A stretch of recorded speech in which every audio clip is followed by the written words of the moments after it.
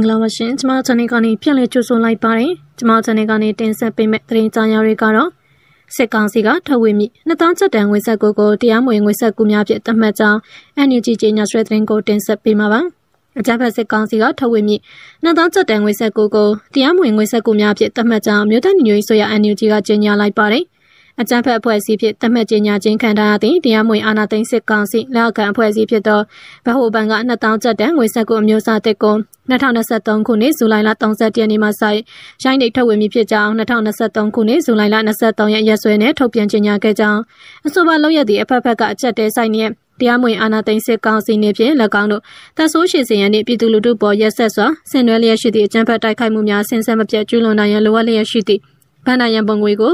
ငွေဆက်ကိုအမျိုးအစားအသစ်စတင်ရိုက်ထုတ်ခြင်းအပြင်ရေးပေါ်ဖြစ်တင်နိုင်ရေးအတွက်အထောက်ဆောင်ရွက်မှုဖြစ်ကြောင်း NUG ကြေညာချက်မှာဖော်ပြထားပါတယ်။တရားမဝင်အာဏာသိမ်းစစ်ကောင်စီကဖြစ်စေရင်းအားဆက်ခံသောအဖွဲ့အစည်းတစ်ခုခုကဖြစ်စေရင်းဤလောက်ခံအဖွဲ့အစည်းတစ်ခုကဖြစ်စေငွေဆက်ကိုမျိုးစားသည့်ရိုက်နှိပ်ထုတ်ဝေခြင်းသည်တရားဝင်မှုအလင်းမရှိသောလုပ်ရဖြစ်ကြောင်းတရားမဝင်ငွေဆက်ကူများရိုက်နှိပ်ထုတ်ဝေခြင်းကြောင့်ငွေကြေးဖောင်းပွားမှုဖြစ်ပေါ်စေခြင်းသည်ပြည်သူများ၏လုပ်အားနှင့်ကျွေးနှစာစုဆောင်းငွေများကိုတစ်ဖက်လက်ခိုးယူခြင်းဖြစ်ကြောင်း တရားမဝင်အာဏာသိမ်းစစ်ကောင်စီအစဉ်ကျင်မဲ့လောက်ရများကြောင့်ရခင်ကမကြုံဘူးသည့်ပလိပကအနေနဲ့ဆင်းရဲမွဲတေမှုနှင့်ကံရောဂါတို့ကိုစုပြုံခန်းစားနေရချိန်၌အိမ်နာစုများစီးပွားရေးလုပ်ငန်းရှင်များရင်းနှီးမြှုပ်နှံသူများနှင့်ပြည်သူလူထုပေါ်ထပ်မံ၍ဒုက္ခအကျပ်တဲဆက်ရောက်စေသည့်ငွေဆက်ကိုတည်ရိုင်းနှင့်ထုတ်ဝေခြင်းသည်လက်ခံနိုင်ပွဲမရှိသောလောက်ရဖြစ်သည်ဟုအန်ယူဂျီကထောက်ပြထားပါသည်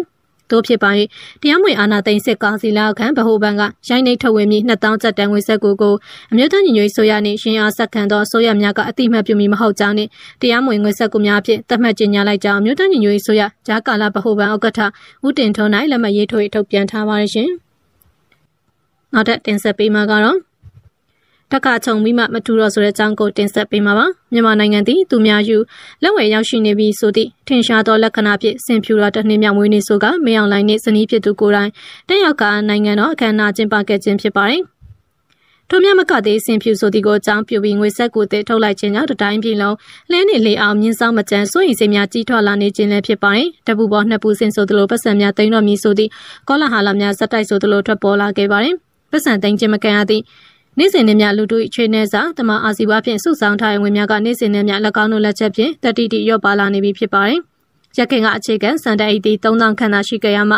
ယခု9000ခန့်အထိဖြစ်လာ၍လက်လုံလက်စားများသည့်ထမင်းနံမှန်ဖို့အရေး၎င်းတို့ရှိသမျှခွန်အားဖြင့်နှဆတို့ကရှာထွက်မတက်ရုံးကန်နေကြရခြင်းလည်းဖြစ်ပါတယ်။ထို့သောရုံးကန်မှုအခွင့်အရေးပေးမရရှိသူများအဖို့အငတ်ဘေးနှင့်ရင်ဆိုင်လာကြရပါတယ်။ ထို့သောလူတဦးတယောက်တစုတဝေးတယ်ပင်မဟုတ်တော့တမ်းမများစွာသောလူများ၏စိတ်နှလုံးကိုညှို့နှံ့အောင်ဖန်တီးခဲ့သည့်လို့ရသည်မိမြအကုသိုလ်ကြီးပဲမြည်နီးဆိုသည်ကိုပင်ရိတ်စာသိရှိနိုင်စွမ်းမရှိလောက်အောင်မိုက်မဲခြင်းမကမိုက်မဲနေသူဖြစ်ပါတယ်နိုင်ငံတကာလဲမှာလည်းထိုကဲ့သို့ဆင်ဖြူတကောင်မွေးနေ့ကိုနိုင်ငံတော်အခမ်းအနားနဲ့လုပ်ခဲ့တဲ့ကမြင်းများသည့်ရှက်ပွဲကောင်းမြင်ပြင်းကြီးကြားထဲမှာပင်နိုင်ငံစားရှက်နေမိပါတယ် ယခုလည်းတတိုင်းပြည်လုံးလွတ်လွတ်ရရဖြစ်လာသည့်အရေးနှင့်အမေရိကန်ပိုပြင်းထန်လာမည့်ပိတ်ဆို့တန်ခတ်မှုများကိုဟန်တားလို့သဖြင့်နိုင်ငံတော်တိုင်ပင်ခံဒေါန်ဆန်းစုကြည်အားအကျယ်ချုပ်သို့ရွှေ့ပြောင်းပေးအစီအစဉ်လာပြီးဖြစ်ပါတယ်။ထိုသတင်းကို BBC နှင့် AP သတင်းဌာနတို့မှဖော်ပြခဲ့တော့လေ။မိသူများအတီးပြုတ်နိုင်ခြင်းမရှိသေးပါတကယ်တမ်းဖြစ်လာမည်ဆိုကနောက်ထပ်တစ်ကြိမ်ထမိန်ချုံလိုက်ခြင်းသာဖြစ်ပေတော့မည်။ပထမတစ်ချိန်ကလည်းမတင်မှတ်ထားပဲထိုင်းနိုင်ငံသားရေးဝန်ကြီးကိုပင်ဖိတ်ကပေးတွေးခဲ့ရသည့်အထိလိုက်လျောခဲ့ကြရသည့်အထိသူမရဲ့အရှိန်ဝါက၎င်းတို့ပေါ်ကြီးမားနေစေပင်ဖြစ်ပါတယ်။ အမေရိကန်နိုင်ငံသား၏ဝင်ကြီးပါဂျကာတာသို့ရောက်ရှိလာတော့မြင့်အရေးကြအာဆီယံမှအချိန်စရာများဖြင့်တိတိကျကျအရေးယူလာမည်ဖြစ်ကိုကြောင်ဝမ်းလန်အားနေတော့ဆန်းစုကြည်နာမည်အားအသုံးချခဲ့ခြင်းသာဖြစ်ပါတယ်တော်လိုင်းအင်အားစုအတွင်းသို့တူလောတူလောဖြစ်လာရင်တစ်ဖက်ကဝါရဖြန့်ခဲ့ကြသလိုတစ်ဖက်ကလည်းပြဿနာအဖြစ်ရှာရည်သည်ဒေါန်ဆန်းစုကြည်ပေါ်မူတည်နေသည်အောင်အာဆီယံကမလုံးပေးလာခြင်းမျိုးဖြစ်ပါတယ်။ယခုလည်းဒေါန်ဆန်းစုကြည်ကိုကြားခံရင်အပေးယူလုပ်ခြင်းမုံရပါတယ်။ဆွေးနွေးရမည့်အတူတူအန်ယူဂျင်နဲ့ဆွေးနွေးလိုဟန်မရှိသူတို့၏ လုံခြုံရေးကိုအပြည့်အဝအာမခံနိုင်ပြီးဒေါန်ဆန်းစုကြည်နှစ်သာစခန်းသွားလိုပုံရပါတယ်။ဒီတီကလည်းကြိုးချဆင်ကျင်နိုင်စွမ်းရှိမှသာတွေးခေါ်နိုင်မည့်အယူဆမျိုးသားဖြစ်ပါတယ်။ယခုပင်အာဆီယံဖွဲ့ဝင်မလေးရှားဝန်ကြီးချုပ်အန်နဝါနှင့်ဖိလစ်ပိုင်သမ္မတမာကိုစ်ဂျူနီယာတို့မလေးရှားမှာတွေ့ဆုံခဲ့စဉ်တွင်အာဆီယံတပ်ဖွဲ့လုံးအနေနဲ့မှုငါးချက်ကိုဆက်လက်ဆွဲကင်ထားရမည်ကိုထောက်ခံတော်လဲအဖွဲ့ဝင်နိုင်ငံတနိုင်ငံစီနေဖြင့်အာဏာသိမ်းအဖွဲ့နှင့်အလွတ်တဘောတိကျစီဆက်ဆံခြင်းကိုခွင့်ပြုသင့်သည်ဟုစကားထွက်လာခဲ့ပြီးဖြစ်ပါတယ်။ ဆိုလိုဒီကထိုင်းပုံစံမျိုးမြန်မာမိတ်ဆွေနိုင်ငံများမှာငိမ့်ချမ်းစွာဖြစ်ရှင်းနိုင်တဲ့အတွက်ဒေါက်ဆာစုကြည်နဲ့တွေ့ဆုံခဲ့ခြင်းမျိုးကိုထောက်ခံသည့်သူဟုပြောလိုခြင်းမျိုးဖြစ်ပါတယ်။တစ်ဖက်မှာလည်းတရုတ်နဲ့လည်းအာဏာသိမ်းအဖွဲ့ပြဿနာဆလာနေပြီဖြစ်သည်။ဥဥပဒေမဲ့ဖြစ်လာသောတရုတ်မြန်မာနယ်စပ်ကိုခြေကုပ်ယူကအွန်လိုင်းမှာလိမ်လည်ရဲစခန်းချလှုပ်ဆောင်နေသည့်များကိုအမြင့်ပြတ်ချေမှုန်းပေးရန်ရန်ကုန်ရှိတရုတ်တန်မမအာနာသိန်းဖွဲ့နိုင်ငံသားဝင်ကြီးနှင့်တွေ့ဆုံကဖိအားပေးလာနေပြီဖြစ်ပါတယ်။ရုရှားသည်မြန်မာမှထုတ်လုပ်သော120မမအမြောက်ဆန်များကိုတုံးနေသည်ဟုယူကရိန်းစစ်တပ်မှအထောက်အထားတပ်ပုံများဖြင့်ထုတ်ပြလာခဲ့ပါတယ်။ ယခုပင်အာဆီယံဖွဲ့ဝင်မလေးရှားဝန်ကြီးချုပ်အန်ဝါနှင့်ဖိလစ်ပိုင်သမ္မတမာကုစ်ဂျူနီယာတို့မလေးရှားမှာတွေ့ဆုံခဲ့စဉ်တွင်အာဆီယံတပ်ဖွဲ့လုံးအနေနဲ့မူငါးချက်ကိုဆက်လက်ဆွဲကင်ထားရမည်ကိုထောက်ခံတော့လဲအဖွဲ့ဝင်နိုင်ငံတနိုင်ငံစီနေဖြင့်အာဏာသိမ်းအဖွဲ့နှင့်အလွတ်တဘောတီကြစီဆက်ဆံခြင်းကိုခွင့်ပြုသင့်သည်ဟုစကားထွက်လာခဲ့ပြီးဖြစ်ပါတယ်။ဆိုလိုဒီကထိုင်းပုံစံမျိုးမြန်မာ၏မိတ်ဆွေနိုင်ငံများမှငြိမ်းချမ်းစွာဖြစ်ရှင်းနိုင်တဲ့အတွက်ဒေါန်ဆန်စုကြည်နှင့်တွေ့ဆုံခဲ့ခြင်းမျိုးကိုထောက်ခံသင့်သည်ဟုပြောလိုခြင်းဖြစ်ပါတယ်။တစ်ဖက်မှာတရုတ်နှင့်လည်းအာဏာသိမ်းဖွဲ့ပြဿနာဆာလာနေပြီဖြစ်ပါတယ်။ ဥပဒေမဲ့ဖြစ်လာနေသောတရုတ်မြန်မာနေဆက်ကိုချေကုံယူကအွန်လိုင်းမှာလိမ်လည်ရန်စကန်ကြလှုပ်ဆောင်နေသည့်များကိုအမြင့်ပြတ်ချိန်မုံပေးရန်ရန်ကုန်ရှိတရုတ်တန်မတ်မှအာနာသိန်းဖွဲ့နိုင်ငံသားရေးဝန်ကြီးနဲ့တွေ့ဆုံကဖိအားပေးလာနေပြီဖြစ်ပါတယ်။ရုရှားသည်မြန်မာမှာထုတ်လုပ်သော120မမအမြောက်စက်များကိုတုံးနေသည်ဟုယူကရိန်းစစ်ဘက်မှထောက်ထားတပ်ပုံများဖြင့်ထုတ်ပြလာခဲ့ပါတယ်။တရုတ်နယ်စပ်မှာစစ်ကောင်စီလာကန်တပ်များနှင့် DNL တို့ကြားတနင်္ဂနွေနေ့တွင်တိုက်ပွဲများဖြစ်ပွားလာပြီးအင်္ဂါနေ့မှာလက်နက်ကြီးများနဲ့တိုက်ခိုက်မှုကြောင့်အရက်သား2ဦးသေဆုံးသွားရသည်ဟုသိရပါတယ်။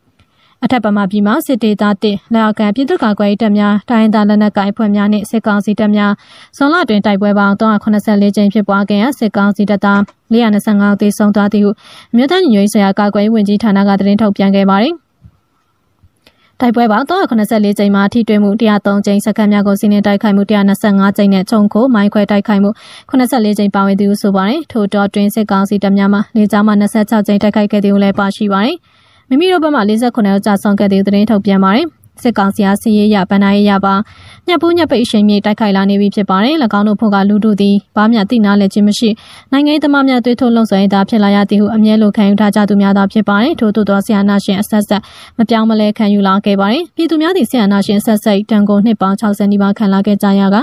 ဘိုးနေဝင်းသူထက်ဆိုသည်ဘိုတန်းရွှေ ယခုဆိုဝါဆုံးထရာဆိုင်နေသည့်သာသနာ့တာကပွဲခံမြောင်လိုင်းလက်ထက်မှာကြော့ကုံအောင်ခံလာခဲ့ကြရပြီးဖြစ်ပါတယ်။ထို့သောဆိုးတည်တဲ့ဆိုလာနေသောအန်ဒီရဲ့ကြီးကိုအနေချောင်ယုံတက်တက်ဖြင့်မိမိတို့မျိုးဆက်တင်များဆက်ခံကြဟုလက်ဆင့်ကမ်း၍မိတို့မြတရားမျှတမှုရှိလိမ့်မည်မဟုတ်ဆိုသည်ကိုသိရှိနားလည်လာကြ၍ချက်ကုတ်ချက်ကဲအသက်ပေါင်းများစွာရင်ပြည်သူများလှိုက်လိုက်လဲလဲထောက်ခံမှုနှင့်တူတိုက်ပွဲဝင်နေကြခြင်းဖြစ်ပါတယ်။မင်းအောင်လိုင်းစင်ကျင်းမဲ့မှုများကလည်းပောက်ကွဲအန်ဆန်ဆဲရန်အိုကြီးတဲ့သို့မိဘများတစပြီးတစကျွေးချနေပြီဖြစ်ပါရဲ့ရှင်။